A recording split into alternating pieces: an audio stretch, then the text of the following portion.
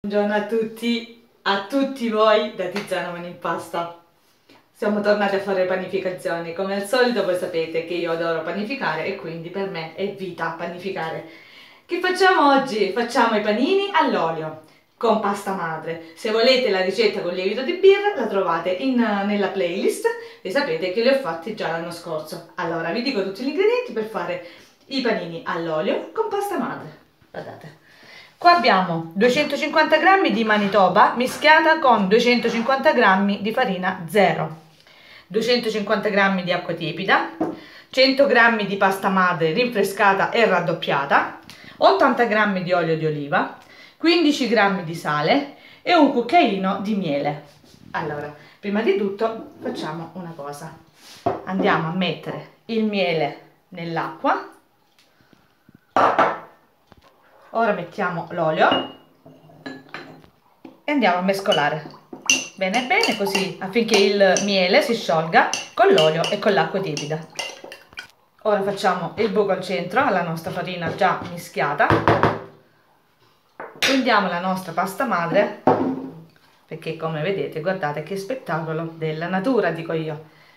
Andiamo a fare a pezzettini la dividiamo la, la facciamo a pezzettini e la mettiamo al centro e ora pian piano non tutto il liquido mettiamo metà del liquido e cominciamo a sciogliere la nostra pasta madre.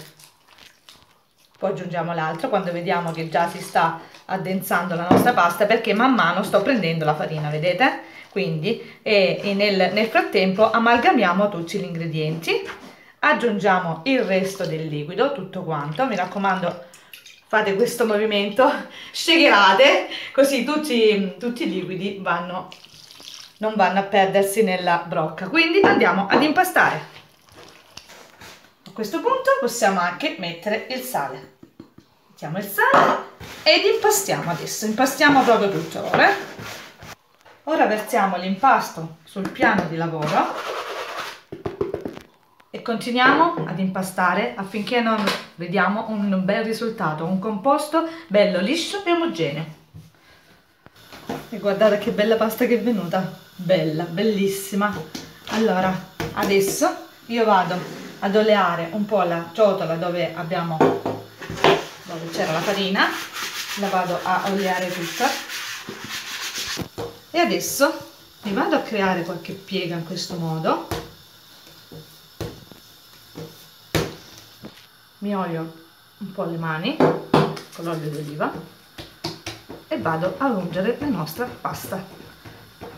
La, mes la la metto qua dentro e vado a fare un giro di piega. Così tiriamo la nostra pasta facciamo un giro di piega così. Facciamo tutto il giro. Ed ecco qua. Ora la nostra pasta la mettiamo in forno spento con lucina accesa a riposare e, e a raddoppiare naturalmente, no? Quindi copriamo con pellicola come al solito, come dico sempre, se ci riesco. allora, quando uso questa ciotola eh, eh, ho sempre il problema che non si appiccica subito la, la pellicola. Tanto poi me la sistemo, ogni volta dico così, me la sistemo dopo, me la sistemo dopo, va bene, ok. Allora, Portiamo il forno spento con lucina accesa fino al raddoppio e poi dovremo fare le pieghe, però ve lo dico dopo. A dopo! Che spettacolo! Guardate, no, una meraviglia! Scusate se sentite lavori e rumori, ci sono dei lavori sopra, lavori in corso di legna. allora, mi sono unte le mani di olio, adesso andiamo a fare il giro di pieghe, come abbiamo fatto prima. Però guardate che pasta fantastica già, bellissima. Mi raccomando, delicatamente fate il giro. Guardate la bolla, guardate la bolla, che bella! Adesso che facciamo? Sentite i rumori? Questo è il mio suocero. allora, siccome sta arrivando la legna, perché noi ci procuriamo la legna eh, diciamo quasi in estate per l'inverno, per stare tranquilli, mio suocero già sta sistemando tutto perché dobbiamo, poi abbiamo un monte carichi, saliamo la legna e siamo tranquilli perché sapete io adoro il camino.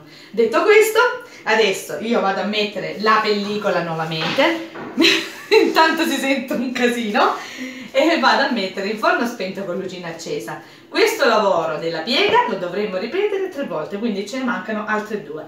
Ci vediamo alla seconda piega, poi ci rivedremo di nuovo alla seconda, quindi ci vediamo dopo.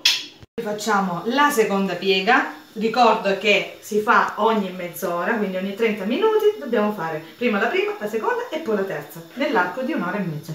Come vedete guardate la bolla, che bella, che spettacolo. Allora delicatamente la prendete così e fate un altro giro di pieghi. Ok, adesso andiamo a coprire e rimettiamo nuovamente il forno spento con l'origine accesa e aspettiamo un'altra mezz'ora e poi andiamo alla terza piega. Terza e ultima piega e poi andremo a perlare i nostri panini all'olio. A dopo. Arrivate alla terza e ultima piega. Ora prendiamo delicatamente l'impasto, mi raccomando delicatamente perché è pieno di bollicine e ora che facciamo? Guardate che spettacolo, una nuvola. Cerchiamo di allargarlo un po' e dividiamo in tanti piccoli pezzi per la grandezza che no. Guardate quando stringo la, la pasta, guardate, guardate. Allora, dobbiamo dividere, magari facciamo una cosa, cioliamo poco poco le mani, così andiamo sempre più comodi.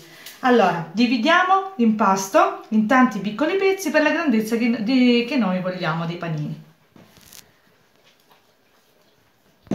Ora prendiamo una, una, un pezzetto e lo andiamo a perlare. Perlare intendo così, delicatamente però mi raccomando che ci sono gli alveoli. Vedete? Perlate in questo modo, che poi sono delle pieghe. Quando fate questi lavori sono delle pi piccole pieghe perché sono dei panetti piccoli piccoli. Ecco, vedete? La chiusura deve stare così, in questo modo.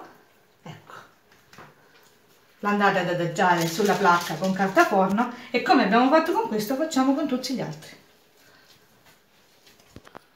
ok guardate adesso aspettiamo due ore un paio d'ore dobbiamo aspettare fino al raddoppio nuovamente lo mettiamo in forno spento con lucina accesa quindi ci vediamo dopo perché vi faccio vedere come sono lievitati perché questa è la seconda lievitazione e poi li inforneremo quindi ci vediamo dopo. Qua i nostri panini guardate come sono lievitati ne ho fatto qualcuno più piccolo proprio per Alice perché magari se lo porta a scuola ed è più piccolino. Allora, io adesso vado a infornare in forno preriscaldato a 200 gradi ventilato, parte alta del forno, mi raccomando, però per 20 minuti, ma... Riforno. A sé. Va bene, ci vediamo dopo all'assaggio. Ciao a tutti! Guardate che spettacolo della natura, quando si dice veramente spettacolo. Cioè, io vorrei che vedeste la sofficità. No.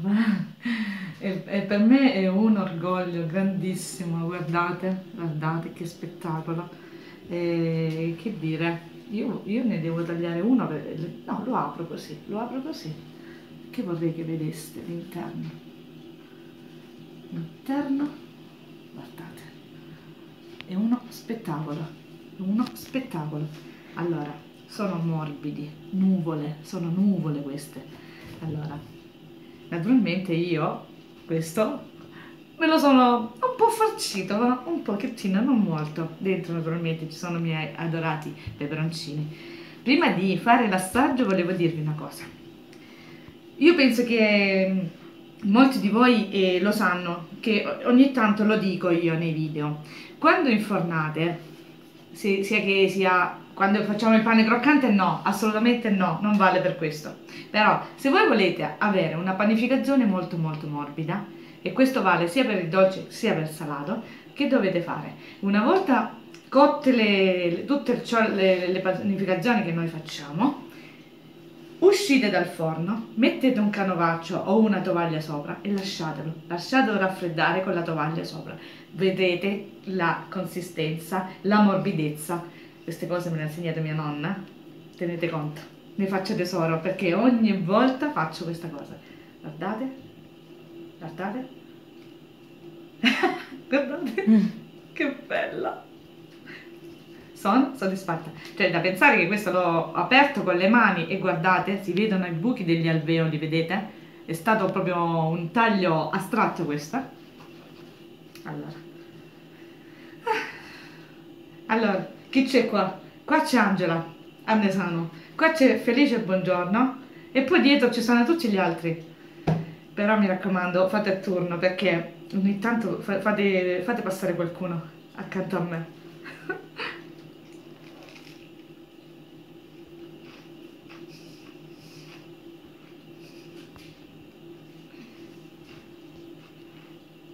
Naturalmente dentro ci ho messo il mio adorato peperoncino. Mm. Buono, buono. C'è Lorena, questa qua, che è entusiasta, vero? Sì, è vero. Ha detto mamma fai sempre di questi.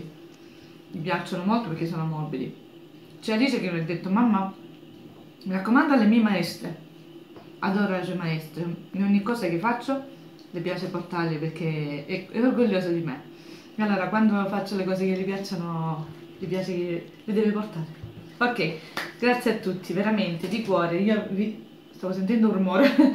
Stavo... Eh, io devo veramente ringraziarvi di tutto e vi auguro una buonissima giornata e ci vediamo domani con la prossima video ricetta. Ciao a tutti da Tiziana Mani Pasta!